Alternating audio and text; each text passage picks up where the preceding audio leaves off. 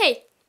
Idag tänkte jag visa till er en frisyr som är bra nu till våravslutningar, vårfester och sånt. Det är alltså en holländsk fläta som får så här runt huvudet. Det kan vara lite svårt först förrän man förstår tekniken, men sen när man förstår tekniken så sen blir det jätteenkelt. So let's go!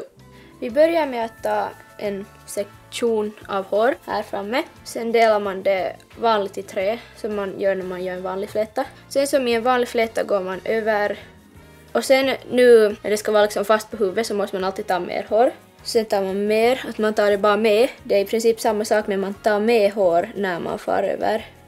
Och så bara fortsätter man med det. Så sen bara börjar man liksom vända på den så att den far dit bakom huvudet.